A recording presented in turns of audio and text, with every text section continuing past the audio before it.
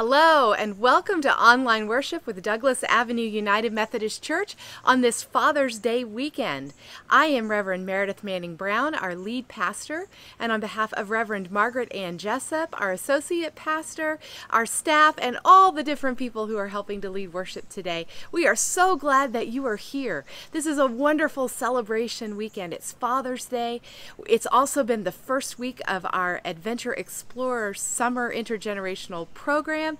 And we're celebrating this week the kickoff of the His Home bicycle ride for His Home orphanage in Haiti. So there's lots to celebrate today, and we're so glad that you are here. If this is your first time worshiping with Douglas Avenue United Methodist Church, welcome. We're especially glad you have chosen Douglas Avenue to worship with this weekend. We hope that you will take just a couple of moments right now to fill out our contact form. It's right pinned in the comment section. And I want to encourage everyone, if it's your first time, your millionth time, whatever, with Douglas Avenue, to use that contact form today. It's a way to say that you're here. It's also a way that you can get prayer concerns and requests requests into our pastors and our prayer team. We love praying with you, so please uh, use that contact form today. One of the things that we do here at Douglas Avenue is we covenant and promise together as we worship to fully participate and to be a blessing. And what that means is that we covenant to participate. So go ahead and close down other distractions that might be open on your devices. Get close into your screen so you can see uh, you may want to light a candle to help you focus and, and make this time even more special. And we encourage you when we're singing to stand up and sing, when it's when we're praying to join with us in prayer and just fully participate in this time of worship. And then we covenant to be a blessing as well. And that means that the comments that we make are a blessing to everyone who's participating, that the way we're participating together in this worship is a blessing for everyone involved and to the larger community. So we covenant together to participate and to be a blessing. Another thing that we do when we gather as Douglas Avenue United Methodist Church is to share the love and peace of Jesus Christ with one another. And I encourage you to do that right now with those you may be gathered with, to everybody who's gathered here online. We've been learning American Sign Language to help us with that. The sign for peace is hands on top of each other and then flattened out, a transition to calm. So peace and then fist together, be with you and point. So let's share that peace together. Peace be with you. Peace be with you. Good morning. I'm Julie Crable. I'm a member of the Bell Choir and have been on various committees. Hi, I'm Jan Crable, and I'm a past member of the trustees. Hi, I'm Ellie Crable. Hi, I'm Tom Crable. I'm a member of the Finance Committee and the Endowment Committee at the church. Please join us in the call to worship. Your line is Praise be to God. Let's practice that together now by saying, Praise, Praise be, to God. God. The heavens are telling the glory of God. All of the heavens proclaim God's handiwork. All around us are signs and wonders, fingerprints of the Creator. Praise, Praise be to God. God. The earth is the Lord's, and all that is in it. The world and all who live in it. All around us we find life. All the created world is related to us. Praise, Praise be to God. God. Let us dwell in God's work of art. Here in this amazing world, we are not alone. We share this life with the heavens, the earth, all creatures, and all the people. Praise, Praise be to God. Good morning. I'm Becca Philbrick, and I'm the Director of Music Ministries here at Douglas Avenue United Methodist Church. I'm here with Marcia Stout and Tom Philbrick. Please join us in singing God of Wonders.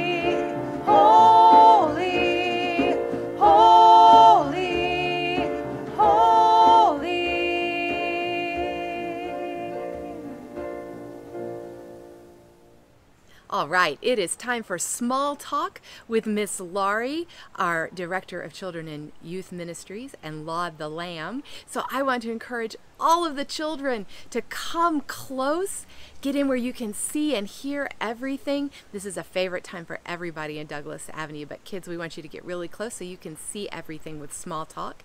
And then I want to also let you know that following small talk, we'll be joining together in our base camp Adventure Explorers worship song for this week called the Hippo Song. So you're going to want to be ready to hop up and have a little room and join with us in that. But now it's time for small talk with Miss Laurie and Laud the Lamb. Good morning, everybody. It is Miss laurie and Laud and his assistant Cohen. And today we are here to talk about growing our faith. So, adventure explorers, all of you that are out there that have been doing our vacation Bible school with us virtually and with your boxes, you know that we've talked about the parable of the mustard seed, mustard seed and what it takes to make things grow. And if you add your sunlight and your soil and your water to that mustard seed and you care for it, it's gonna grow and spread. And our faith is kind of like that too. And our faith in God's kingdom. But it's really hard in about a three minute time frame to watch a plant grow.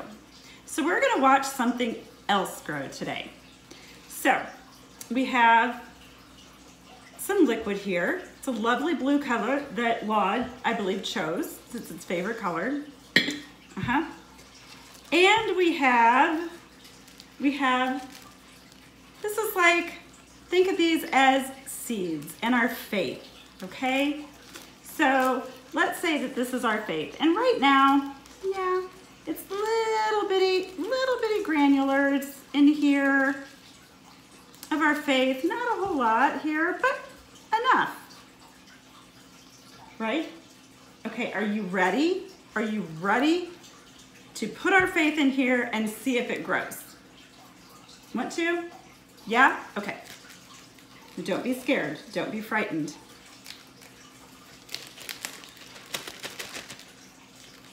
Okay, here we go. Are we ready? All right. And I'm gonna hold this up. Actually, I'm gonna move it up. And I'm actually, Laud, do you think you could help pour those in? Mm, I don't know it's gonna work very well, but we'll see. Here we go. Ready? Oh my goodness. Look at how much our faith is growing. It's overflowing even. Our faith has grown so much. Wow. Wow. That's amazing. How much when we follow God and follow Jesus, how much our faith can grow and spread. And believe me, it has spread. Yeah. Yeah. Probably should have gone with my first thought and done this outside, but it's really hot. So, our faith has grown. Something else that we have to mention today that helps us grow are our dads, because today is also Father's Day. So happy Father's Day to all of those dads and grandpas and uncles who help raise wonderful, beautiful children. We thank you. And you help us grow, help them grow. And a lot of times, you're a little bit more fun than us moms. I have to admit it. They are the ones usually doing the, the messy things, the yucky things. So, but that helps us grow too. So, happy Father's Day, Dad. Continue to grow your faith, everybody. Okay, everybody. So, we learned the most fun song at Adventure Explorer Camp. And we want everybody to join us in singing Laud's very favorite song, the Hippo Song. All right, adventure explorers, our theme for this week is time to explore. And we are exploring God's creation and how it is that God reveals God's self in all this beauty that we see. Now, one of our favorite songs that talks about this is the Hippo Song. So we want you to stand up right where you are and join with us in singing the Hippo Song. We're going to do it uh, repeat after me style. Say that. Repeat, after, me style. And do as I do style. And do as I do style. So after me.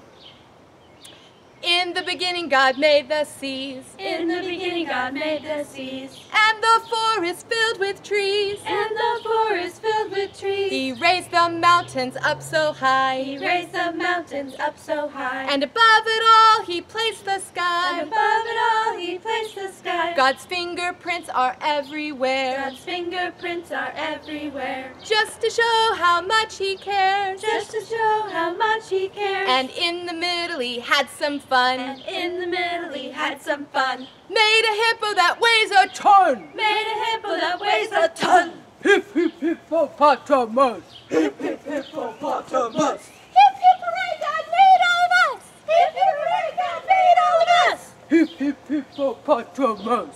Hip hip hippopotamus. Hip hip hooray, God made all of us. Hip hip hooray, God made all of us. Excellent. So we're learning this song, so let's do it one more time. Repeat after me style. Repeat after me style. And do as I do style. And do as I do style. In the beginning God made the seas. In the beginning God made the seas.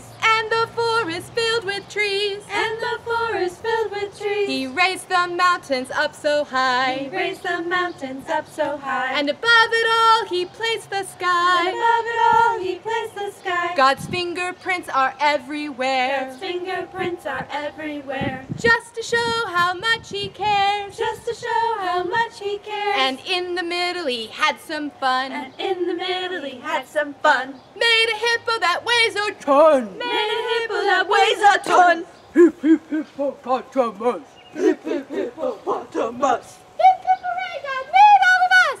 Hip hip hooray, God made all of us. Hip hip hippopotamus. Hip hip hippopotamus. Hip hip hooray, God made all of us. Hip hip hooray, God made all of us. Great job, everybody. Have a seat. Hello, my name is Elizabeth, and I am a member of Douglas Avenue United Methodist Church. Jesus would often tell parable stories to help people understand God's kingdom. He would also use examples from nature to tell these stories, like in our Bible reading for today. Our Bible reading is Matthew chapter 13, verses 31 through 32. Jesus put them another parable. The kingdom of God is like a mustard seed that someone took and sowed in his field. It is the smallest of all seeds, but when ha it has grown, it is the greatest of shrubs and becomes a tree. So the birds of the air come and make nests, nests in its branches. May, may God bless our hearing and understanding of the Bible reading we have received today. Amen. Please stand and join us in singing All Things Bright and Beautiful.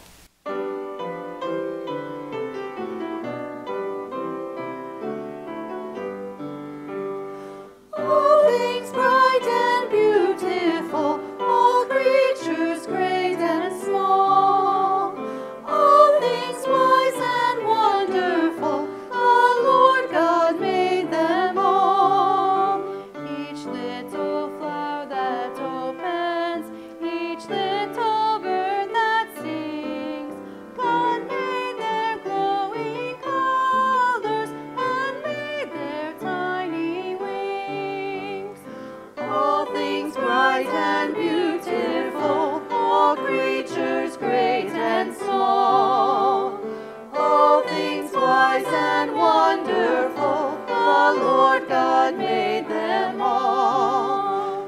The purple-headed mountains, the river running by, the sunset and the morning that brightens up the sky.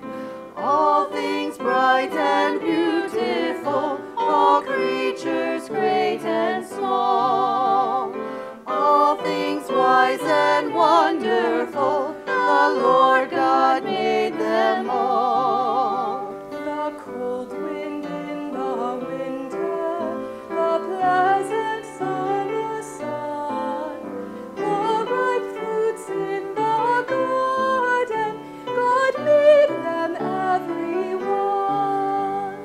All things bright and beautiful, all creatures and small. All things wise and wonderful, the Lord God made them all. God gave us eyes to see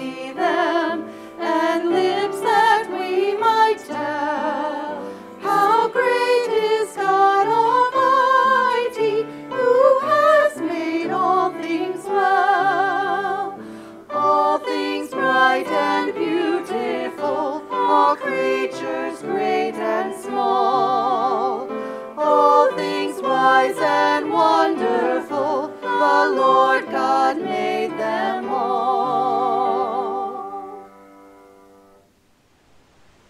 In our Bible, we see that Jesus used parables, comparing stories, to help people learn and internalize eternal truths about God, God's purposes for God's people and the world, and the overwhelming love of God that both is right now and is coming to fruition in the world.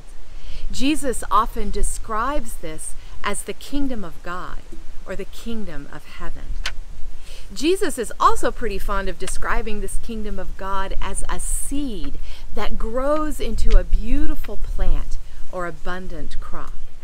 Jesus uses this image several times in his teachings, and you may know some of these describing stories or parables that Jesus tells. There's the parable of the sower in Matthew 13 1, also in the Gospels of Mark and Luke, where Jesus describes the kingdom of God as seed sown onto good soil and onto difficult soil. The seed thrives in good soil but struggles in the difficult soil. There's the parable of the planter in Mark 4 26 through 29, where Jesus describes the kingdom of God as a seed planted in a field that grows on its own, and the planter doesn't know why it grows. There's the parable of the weeds and the wheat in Matthew 13 30, 24 through 30 where the kingdom of God is like wheat growing up surrounded by weeds which can't be separated until the harvest. And there's today's story, the parable of the mustard seed in Matthew chapter 13, verses 31 through 32. And it's found again in the Gospels of Mark and Luke. Jesus put before them another parable. The kingdom of God is like a mustard seed that someone took and sowed in his field. It is the smallest of all the seeds, but when it has grown, it is the greatest of shrubs and becomes a tree, so that the birds of the air can come and make nests in its branches. What is it about the kingdom of God that is like a seed? The mustard seed that Jesus talks about in today's parable is itself quite small. We use them in cooking, and that little mustard seed gives a lot of flavor. But the mustard plant itself can grow quite large from that little seed, to be as tall as a person, even.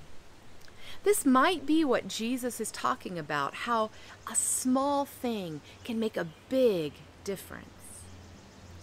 Jesus uses a couple of other images for the kingdom of God that have a similar meaning, how a small thing can make a big difference.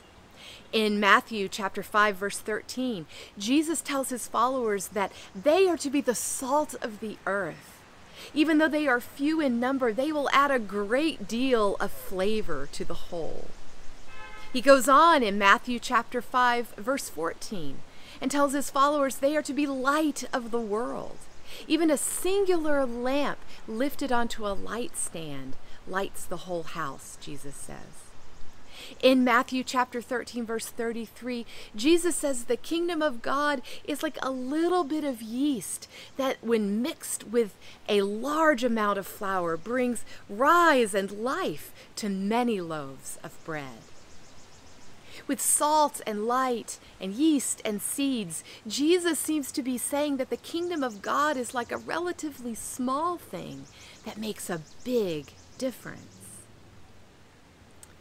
There have been many times in my life when a small action has made a big difference to me.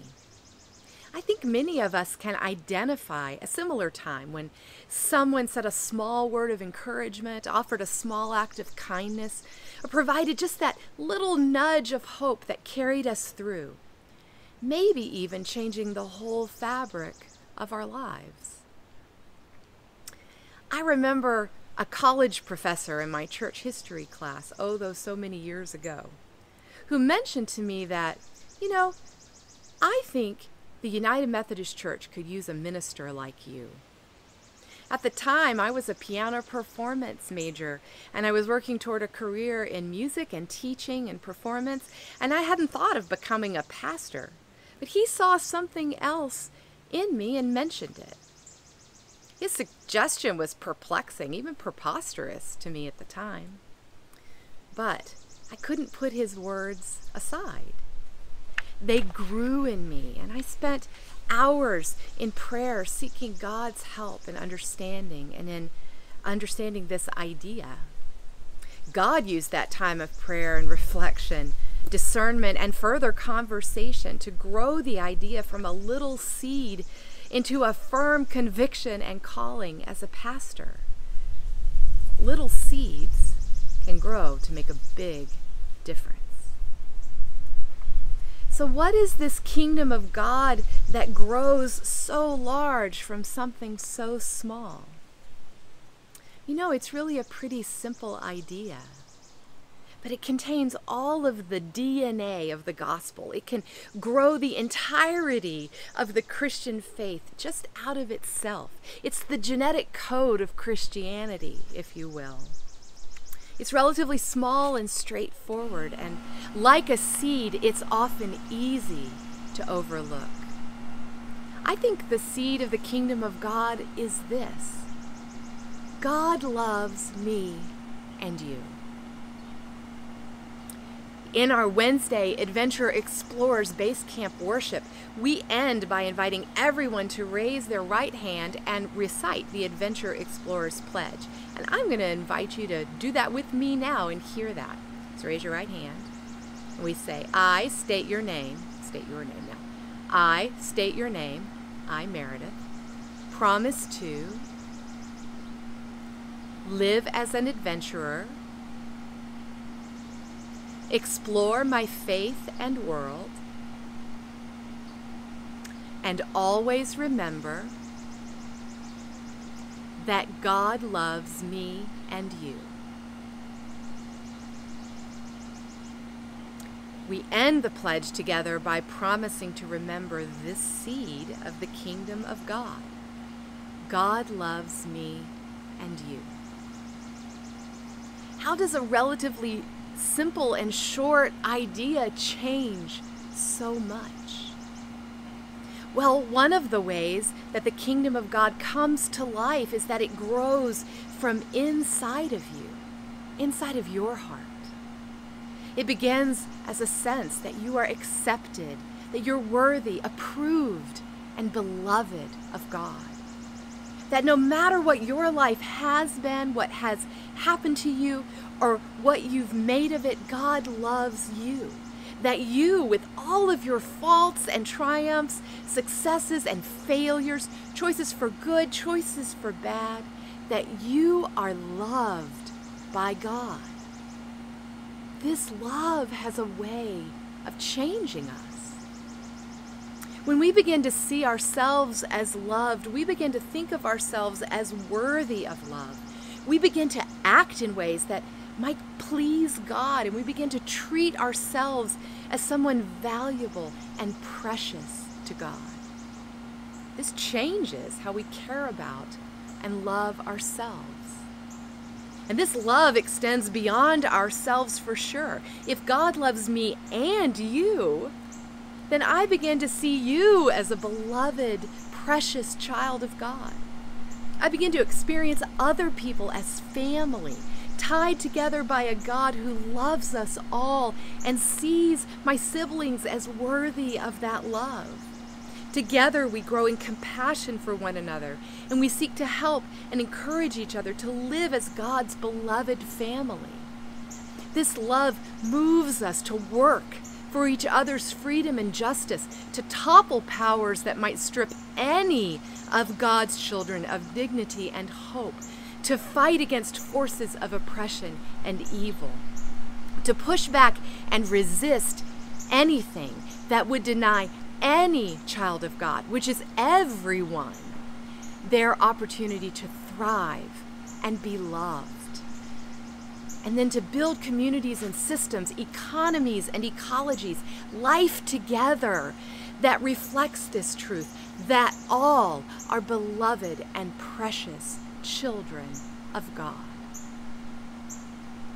Sometimes this process isn't so linear in our lives. It certainly can move back and forth through that expressed and activating love of all God's children and love for ourselves and God's love for all of us together and individually. It feeds on each other.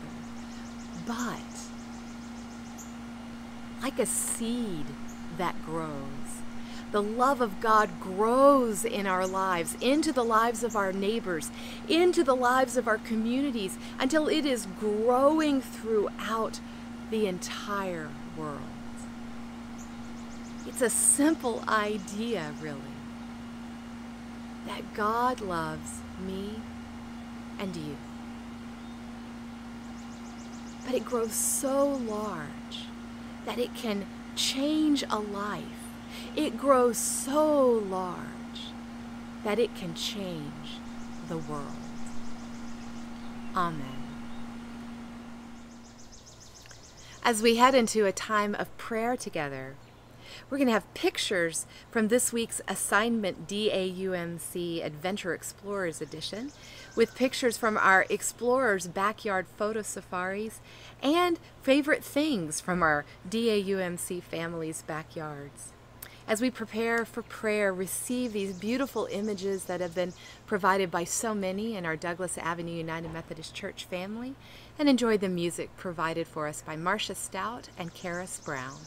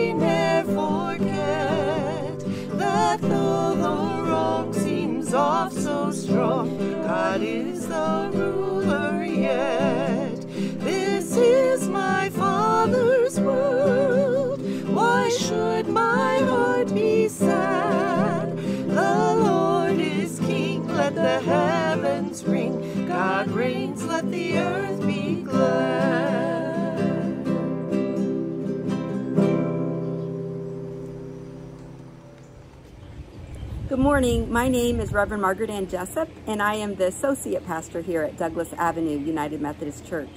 And it is a true honor to serve the people of Douglas Avenue, and I welcome you this morning. It is now the time that we go to God in prayer. Douglas Avenue has always been a heavily praying church. Prayer is so important to our community of faith. We encourage you to share your prayer request on your contact card, or you can also put your prayer request on the Facebook Live feed, or email myself or Pastor Meredith. We will share your prayer concerns with our prayer team, and we will hold your prayers um, close in our hearts in the coming week. I now ask you to bow your heads in prayer. Loving God, whose power is beyond our scope and whose wisdom is beyond our understanding. We turn to you in faith, assured that you know every one of our emotions and you are aware of all of our needs. We are so grateful for the privilege to come to you, God, in prayer. Praying together as a church family helps join our hearts together with you. Our thoughts and prayers today are turned toward our fathers. On this Father's Day, we give special thanks for each and every father we're grateful for those who have provided strong and faithful care and love to children, both young and not so young. We are thankful for the men who help build good and secure homes for children. We thank you for others that are in parental positions, such as grandpas and teachers, tutors and mentors, uncles and friends. We give you thanks, O oh God, for all who guide and shape our children. For those who have recently lost or who are facing intimate loss of their own fathers, or who have lost fathers long ago and feel sad, we find comfort coming together in prayer. For those who long for a father's presence in their life, be with them, O God. We rejoice with you for the many men who have taken the place of fathers and opened their hearts. And we join all fathers everywhere in praying that all children everywhere will find love and support from those around them. Next, O oh God, we ask for help for our country. As our country is struggling with race relations and injustices, show us how we are to love one another. Show us how we, as white people with privilege, can work for equality for all races in education, in housing, public service, in employment opportunities, and with the legal and prison systems. Help us, O God, to understand. Help us to ask for forgiveness for the times that we have not been completely just. Give us strength and courage, O God, to speak out in the places that we see and know that there are injustices and help us to work for the transformation of unjust systems so that we may more fully live out your kingdom here on earth. Loving God, we ask you to be with those among us that are struggling, struggling with whatever. It remains so difficult not to be together, to hug and to touch, to hold hands physically. But we're grateful, O oh God, for this technology and to be able to connect in this way. Be with those that are lonely and in need of connection. Help us to know who and how to reach out to the lonely. Surround those that are sick with any illness and in need of your healing. Be with family members of the sick as our healthcare system remains so difficult to navigate because of the coronavirus. Hold tightly those that are in need, O oh God, those that are addicted, homeless, and feel like an outcast, however that is. Continue to be with those that are grieving losses, so many losses that we've all experienced in the last months. May we all be surrounded by your love. Thank you, O oh God, for the many blessings that you have bestowed upon us. We are grateful for this church and all of its ministries and all the good work that comes out of this church. For the work of Wouldn't It Be Lovely, for the Compass program, for 490 Outreach, and the His Home Bike Riders as they begin their important ride tomorrow. keep us all healthy, keep us all focused on your work. Lastly, we ask that you will fill our leaders with your guidance. Be with the leaders of our state as they make important decisions in the coming weeks. Be with our country and the political system. Soften our hearts, O oh God, to each other. And we ask that you be with our denomination. Especially hold Bishop Beard close in your heart and Superintendent Watkins. We ask that you be with them as they also are making important decisions how, how we will move together forward and safely as a church family. Now, with all the love and devotion, let us pray together the prayer that Jesus taught us to pray. Our Father, who art in heaven, hallowed be thy name. Thy kingdom come, thy will be done, on earth as it is in heaven. Give us this day our daily bread, and forgive us our trespasses, as we forgive those who trespass against us. And lead us not into temptation, but deliver us from evil. For thine is the kingdom and the power and the glory forever. Amen. Thank you so much for your generous giving into the ministries of Douglas Avenue United Methodist Church. Your financial gifts make all of the difference in this season as we are seeking to reach so much further beyond our church walls with online ministries, with service into our community into so many different ways, and service into our world. Your financial gifts make all of those things go. You can give into the Douglas Avenue United Methodist Church ministries with our online uh, giving which is available on our webpage, and that link is right in our comment section. You can use your own bank or credit union's bill pay and just automatically send those gifts in. You can also be in contact with our church office and mail in gifts right into our church office all of that generous giving makes such a difference. Thank you so much. I want to encourage you again to use your contact form today as a way to put yourself right into this worship and say that you're here and to use that for your prayer requests that you have for our pastors and prayer team. If you haven't already done so, it's not too late to register for Adventure Explorers, our summer intergenerational learning, worship, and fun program. The link for that is right in the comment section. It can also be found on our webpage. Please join with us through this uh, summer adventure that we're having. And then we're going to have a special offering of hope and a special offering today as well for the His Home Children's Home in Haiti and the fundraising bike ride that launches on Monday. Our offering of hope is being brought to us by Kathy Lambden. She is one. She uh, organizes our His Home fundraising bike ride. We'll also have a story from one of the His Home resident children and then be ready to pray with our Douglas Avenue His Home Bike Ride team. We'll do all of that together here with our offering of hope. Hi there, I'm Kathy Lambden. I'm a member here at Douglas Avenue United Methodist Church. Been here for probably over about 20 years. I'm also on Pastor Parish uh, and I'm involved with the this His Home uh, 300 mile bicycle ride. This is the 13th year for the His Home 300 mile bicycle ride to benefit an orphanage in Haiti. And it's called His Home, but the HIS stands for Haitian Interdenominational Shelter. We have had to make adjustments this year for the ride due to the virus. There is a group of bike riders in the Springfield area that plan on riding their bicycles 300 miles starting the week of Monday, June 22 and finishing that Friday. We will average about 60 miles a day. There are other groups riding the same number of miles in their local areas. In past years, we have raised between 30 and $80,000 for the orphanage. The orphanage currently has 70 children in their care, which 20 of them have serious medical needs. The bicycle ride came into my life when I needed hope. It was a time when I needed emotional healing. This ride has given me hope in many ways.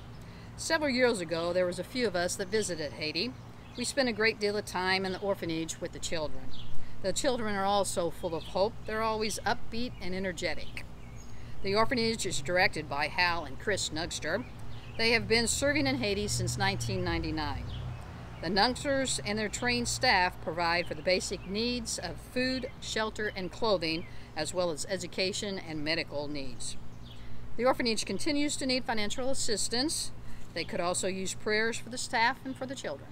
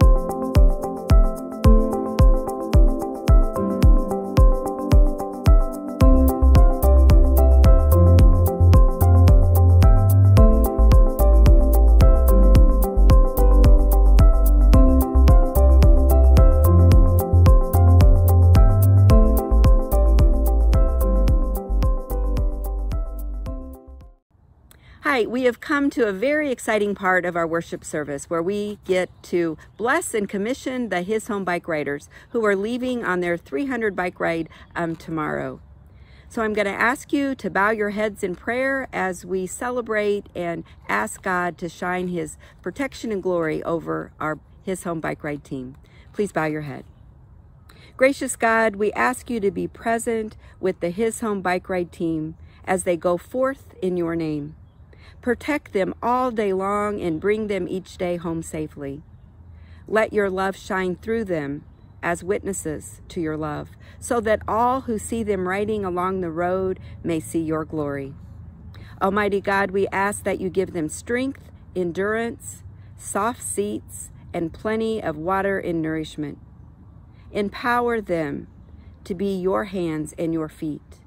Help them to glorify you with every pedal and every mile. Protect them, O God. Loving God, we ask you to be with the children in the His Home Orphanage in Haiti. You know their needs, which are great. May the money earned from this ride change their life in many positive ways.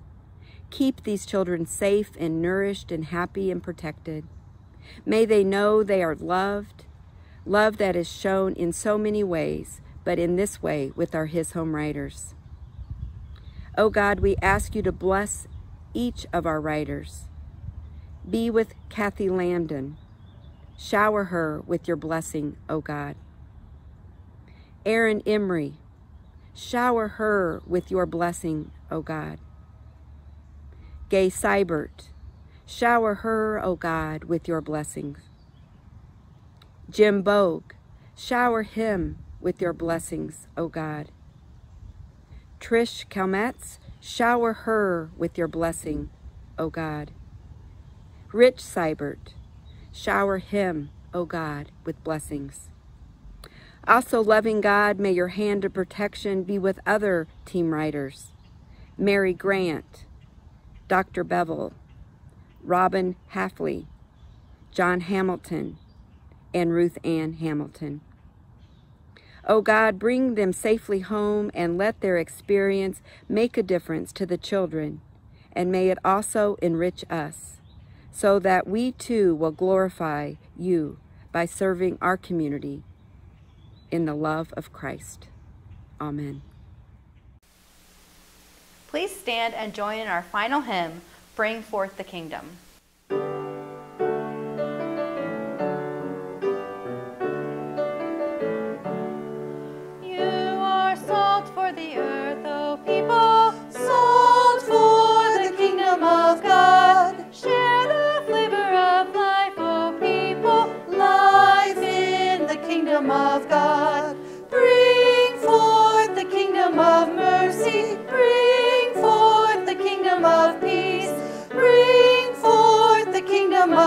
Justice. Bring forth the city of God.